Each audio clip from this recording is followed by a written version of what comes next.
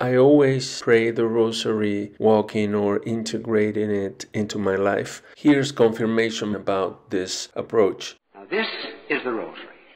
Say it, say the 15 mysteries every day. You don't need to be on your knees.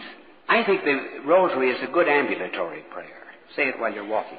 Sometimes there are little knots in the steering wheel of a car. Count them.